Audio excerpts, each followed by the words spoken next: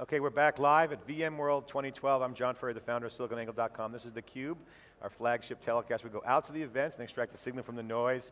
And we're excited, day three, we're kicking it off. I'm here with my co-host Dave Vellante, founder of wikibon.org, and our guest, the esteemed Steve Herrod from uh, VMware CTO. Um, busy guy out in uh, the field last night, AT&T Park with NetApp, talking to all the partners, great keynote. CUBE alumni, welcome back. Thanks. Uh, this is my fourth VMworld on the Cube, or is it my third? It uh, I think uh, third or fourth third VMworld, and we've had you on before in other venues, I believe. So, That's yeah. right, structure. No, this so, is great. So how do you feel? I mean, obviously VMware, one of the things we were commenting on in the end of day one when we were wrapping up was um, VMware is moving very, very fast beyond just looking at VMware. And you know, people who know VMware know that's always been the focus, VMware and, and, and, moving that together and going back two years, Paul Maritz announced the, you know, the map and the roadmap and laid that out. Now this year it's bigger, bigger vision, a lot more going on around that and orbiting around VMware ecosystem conversations. Pat Gelsinger, um, you're doing a lot of uh, meetings with partners, so tell mm -hmm. us, what, what's the vibe like out in the ecosystem now that we're two years out post the big announcement from Paul? What's the ecosystem like from your perspective? Yeah, I really enjoyed this event in particular. Obviously larger on all fronts, uh, 20,000 attendees, which is quite fun. And uh, I think my favorite time always at these events is going to the solutions exchange where you go out and you see the different partners, what they're doing and how they're integrating. And uh, we certainly saw it here again. What's also very nice, I think we've uh, helped the industry paint a vision of where things should go with the software-defined data center, which you've uh, heard a lot of people talking about.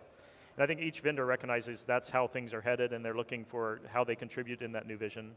And you can, again, you can just see it in the announcements that have come out and in the uh, Solutions Exchange demonstrations. So one of the things I want to, we want to talk about, Dave, and I want to drill down on is obviously software-defined networking. And this, this year announcement is, was the big event that's happened recently. And you know, it rivals kind of like the SpringSource in terms of the impact to what it means. Obviously it's a, a lot more in terms of dollars. Uh, mm -hmm. I think Jayshree from Arista called it the, uh, the Instagram for networking. Um, big, huge uh, acquisition. Um, but first, let's talk about data, data infrastructure. So Dave and I are introducing this concept that, that we'd like called data infrastructure where um, converged infrastructure is a great vision, it's happening, but now data is in the center of the value proposition, mm -hmm. and it's changing some of the architectural components. We see that with Flash. So what's your vision around data infrastructure or data-led infrastructure these days? Because there's a lot of on-premise reconstruction going on around architectures, different right. use cases, depending upon the company, that's got to go work with clouds. How are you seeing this data-centric uh, infrastructure? That's a great, great area to discuss. So we, we definitely see that we can make the software-defined data center be unique in, in the history of IT and that it can be one platform that really works well for your existing applications, but it has to be relevant, in fact, help out the new type of application architectures coming together. And I think if you, if you look at the past of IT, it shows up that you've created infrastructure for a specific application need. That in turn has led to silos, which have led to a lot of inefficiency. So we're particularly interested in these data-generated architectures is if you go out right now, you might see people beginning to experiment with them, and they're creating a proof of concept as a new standalone part of an infrastructure. So these are silos that have not yet been invented, and so we really want to get in the in yeah. the middle and avoid them there. So towards that end, there's some things you really need to do in this new software-defined data center towards towards them, and we announced a couple of things around flash recognition, and uh, we're beginning to treat uh, direct attached storage as a, as a first class citizen in this new environment, specifically to get the bandwidth and the things you need for these new applications. Dave, we said storage was sexy back in uh, EMC World 2010 with Joe Tucci, remember? And he's like- uh, Couldn't get him to agree, but we You we said storage, it used to be called storage, but now storage is in the center of the uh, value proposition. Um, at least data, right? and so, and, and, obviously big data is the big buzzword that really talks about mobility and apps, et cetera, mm -hmm. at the top of the uh, stack and user experience. The question I have for you is, um, you talk to the community a lot, obviously the technical community, and VMware's got a huge community uh, that's growing. What, what's the impact of the systems that are built around software-defined data center networking What's the impact those systems will have on, on the new environment that you see? When you talk to people, what are they saying to you like, wow, this is going to be really revolutionary in this way? Can you share just some of the things anecdotally you heard or things that you specifically uh, were involved in where mm -hmm. these new systems are going to have an impact and specifically the areas that you think that are going to be relevant? It's fun because I think it's both technology impact and it's also operational impact, and we're seeing this everyone we speak with. Uh, Technology-wise, it's certainly about how do we abstract out uh, this infrastructure in new ways, how do we pull it together so that you can more easily dole it out? And then the most important reason for all of this is to automate more than you could in the past, and thus move faster and move uh, less expensively. Um, so everyone likes that technology shift, and, and, again, you'll see all the hardware vendors looking at that angle, you'll see software vendors looking at it. But the harder part, I think, in many cases, is how do I, as an existing IT department, prepare myself for this new area? Um, so I'm more on the technology side, but I think one of the more impactful things we did at this event is launch a cloud operations set of instructions. And, and uh, these are things like how organizations change uh, when you get to a successful model, how the different silos you have in your org might need to collapse, even a, a, fair amount of IP around process changes. Um, so I think it's kind of, it is kind of neat because you have to change both to get the full benefit of this new approach. So I'm curious, Steve, it's your point of view on, on the following. So I understand the operational impact. I'd like to drill down into the business impact a little mm -hmm. bit. Two things uh, strike me. One is you're just talking about you know, more flash and, and becoming more flash aware. And, and the other is Hadoop, the way you're, you're reaching out to the Hadoop ecosystem. Uh, the, one of the things that the data-led infrastructure premise that we have is that big data analytics will feed transactional mm-hmm. applications mm -hmm. in near real time, if we can define real time as uh, before you lose the customer. uh, and that requires time. new data infrastructure, maybe flash-led, uh, where the point of control is really the, the server, mm you know, the, or the you know, VMware really, um, to do things in near real time. So uh, will that lead to, uh, first of all, is that premise, do you agree with that? And will that lead to business productivity impacts mm that are dramatic? I, I, love this area, it's a great one to discuss. Um, we briefly on our first keynote only showed a, a, real smidgen of what we were thinking the world looks like as we head forward. And we showed a shared architecture in a kind of a contrived fashion where you had web uh, traffic going on, people doing typical purchases or whatever it might be. And on that exact same infrastructure, we were able to deploy and run Hadoop. Uh, we just showed a little bit of it, but can deploy it quickly. Mm -hmm. And we're actually using the same infrastructure to have more analytics going on at nighttime, more web traffic, for instance, during daytime. But it's kind of neat, if you can get to that same architecture, you can very quickly move back and forth between them and the data is in one place so that you can operate in near real time. And it, especially for kind of these web analytics, we're able to go in and say, I can give you recommendations or that sort of thing. You know, real time is before you lose a customer for most of these cases. so I think if you can share the infrastructure for the two types of data, you really get a benefit there. Okay, and, and I wonder if I could, we could come back to the, to the flash piece. Um, Pauline Nist calls it the horrible storage stack. Pauline Nist of Intel. and, uh, really, she's talking about you know, the spinning disk, but not only spinning disk, the you know, things like SCSI protocols with very chatty. Um, do you envision the day where we can get to a point of you know, atomic writes and you know, orders of, maybe two orders of magnitude greater application performance? Again, getting back to that point of driving business productivity beyond just operational productivity and doing more with less. Uh, absolutely, and, and, I think again there are some great announcements on the floor here of everyone doing all flash arrays to things that are plugging into the PCI slots. And I think about it right now as another layer in the hierarchy of, of speed. So you have you know, on-processor caches, you have memory, now we have a new rung which is flash, and then you have traditional storage and archival storage. And if you really think about this continuum, then people are going to find ways to get the things that you access most frequently into those layers. And uh, that's what we launched an initiative called vFlash, um, Virtual Flash, which tries to treat flash memory on servers just as we're treating memory and CPUs today and really let people dole it out quickly and leverage it. Um, but I think it is a profound change on not just the storage industry, but just overall, as you said, application performance and, and even architectures too.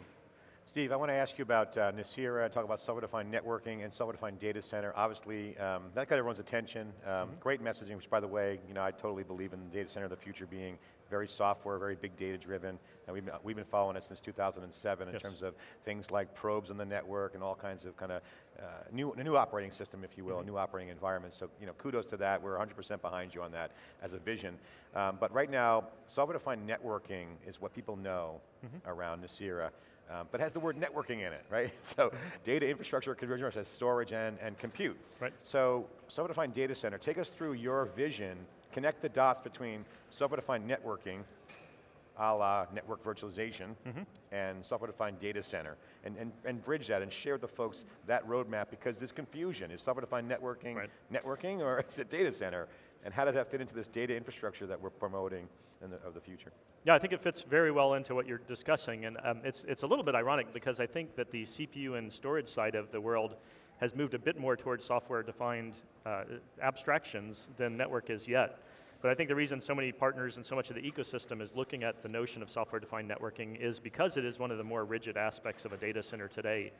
And it really is one of the things that keeps you from really making your whole data you center bottleneck. Uh, I don't know about bottleneck, but certainly the complexity and, and, a lot of the rigidness, it ultimately doesn't let you automate as much as you yeah. need to. And so I think that's why there's been such a big recognition of it. So specifically, software-defined data center is a way of pooling all of the resources of your data center together and using automation to dole it out as needed. software-defined networking is one of the most important pieces that remains to really do a good job on to allow that vision to happen. So I would say it's a subset of the overall vision, but one of the most critical ones, and obviously that's why we're very interested both in our own products as well as using Nicira to help us branch out and, and provide those same constructs So where are others. we on the maturity level in your opinion, Steve? I know this is subjective, but if you say yep. on a scale of one to 10 for, for, uh, for abstract pool and, and, automate servers and memory, yep. let's say a 10, right. well, nine, whatever, it's pretty good. Where would you put storage, where would you put networking, and where would you put security? Yeah, great question. In fact, I've tried to do that in a couple of areas that we've looked at. I think um, compute and memory, I think we're at a, I'll give us letter grades instead. I think okay, we're at a, a solid A. Plenty more work that we're doing and can do, but I think we're, you know, with vMotion and everything else, we're in great shape. I think storage is at a, you know, a solid B, maybe a B plus, um, with some of the new abstractions coming out, uh, some things that let you pool storage together and move it around. There's definitely still some restrictions that we need to knock down on that front. Um, we did one with enhanced vMotion, for instance, which lets us move things around even if they don't have the same SAN beneath them. Um, and I think networking is where we're you know, in the very, uh, maybe a C plus type of area right now. There's definitely great stuff that's been done, but too many cases right now, you still know the topology of how your network is laid out. You still have to worry about subnets or VLANs that don't have enough scalability, and those are quite restrictive. And the good news is that, again, across the whole industry, people are recognizing that and going after it. But in many ways, it is the furthest behind, but it's also one of the most impactful if you get it right. Steve, there's a nice story in Wired Magazine around Nicira acquisition, 70 engineers. I mean, they kind of got it right, um, but it was a good story. You got some new talent coming in. So my question uh, uh, is twofold. First, I want to talk about this acquisition of talent in the sense that it's not just Nicira now, although they're software-defined networking, and that's going to create some enablement across those other areas, compute and storage, as you mentioned, and put that with, together with your partners, stitch it all together. I see mm-hmm. that's a cool, cool vision. But I want to talk about DynamicOps. Sure. Uh, DynamicOps was a really sweet acquisition in the sense that it's kind of like no one was talking about it, but it's mm -hmm. really kind of strategic because what they do is simplify uh, a lot of things. Yep. Um, so the question I have for you is one, um, where does DynamicOps fit in the stack? Is it on top of vCloud? Is it underneath vCloud? Because you know, I can make the argument that sitting on top of vCloud is a better end user That's piece right. of it to enable and simplify, abstract, if you will. Yep. As, do you agree with that, or are you guys talking about that internally? And What's your vision? Yeah, great that? question. We're, we're really just getting now into talking about it publicly. Um, so first of all, when we go to our customers, we very carefully look at how far along in the journey towards a real cloud model they are. And we noticed that a lot of our enterprise customers who had moved very far along the journey were using DynamicOps. So obviously that sparked our interest. And really, in, in, short, what it's able to do is recognize the workflows and the things you have to plug into when you're making real enterprise decisions over where something runs. And it ties that with offering out self-service to employees who want to use, they just want to run their applications. Not to the help desk, I mean, uh, for the folks out there, DynamicOps basically is a, is a service layer, if you will, for lack of a better description, I'm oversimplifying, but allows mm -hmm. direct end user or edge of the network management and services that are basically abstracting away some of the details. Yeah, Gar Gartner calls this new category a service governor, which basically means it's trying to choose which services based on compliance rules, based on cost in these different areas.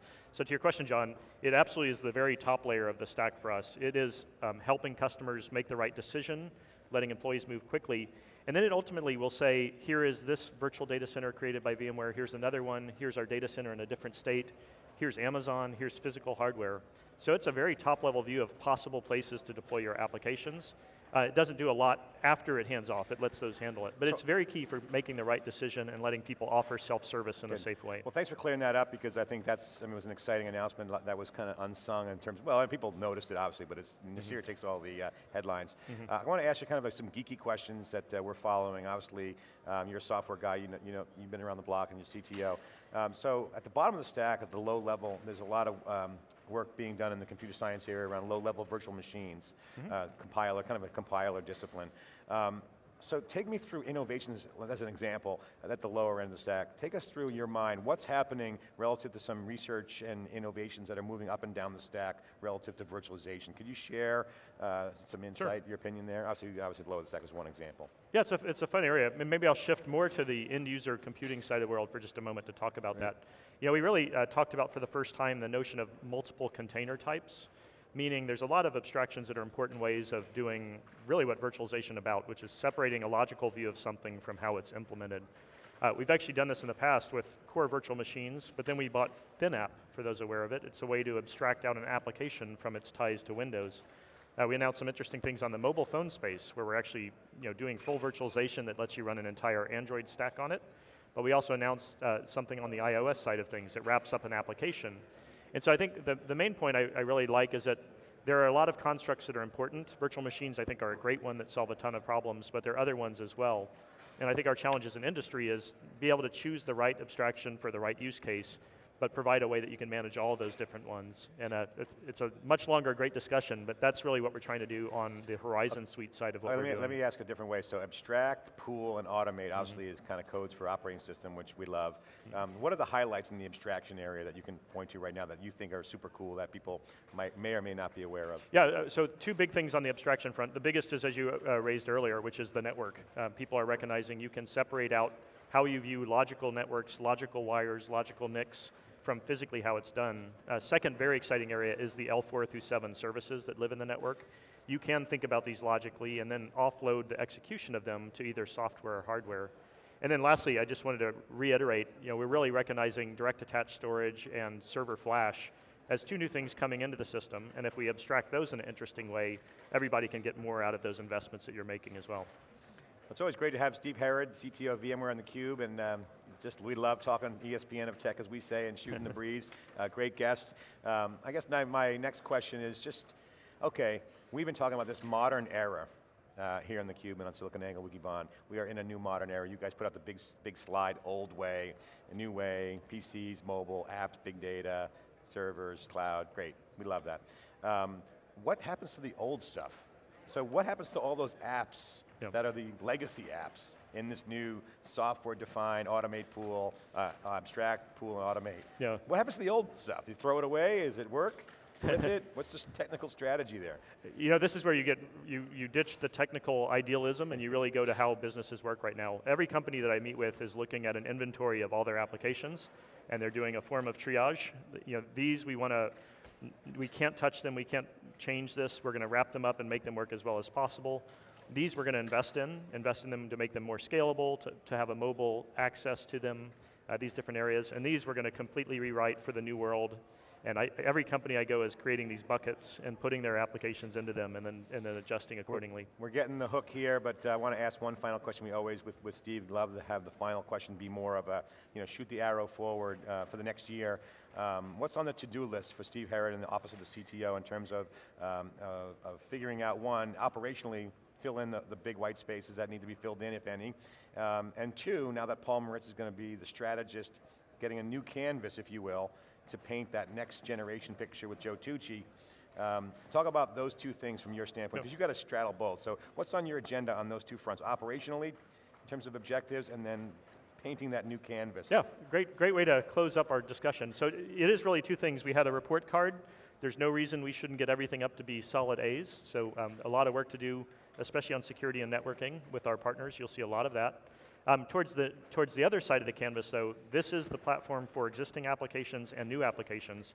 And understanding new applications and where they're headed is a key part of our uh, Cloud Foundry open platform as a service strategy. It's absolutely looking at your data-oriented architectures, understanding big data and big analytics.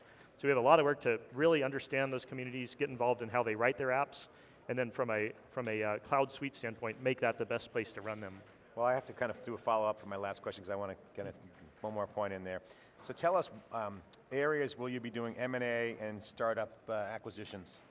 Well, obviously, we're going to continue to be aggressive on both fronts. Uh, I, all I can say is that the software-defined uh, data center has many components to it, and many of them uh, have a long way to go. So we're going to be very active in, in taking that exact same vision, but hopefully finding the pieces internally and externally that really help accelerate it.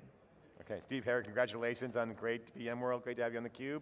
Uh, but we'll be right back with our next guest after this short break. Thanks.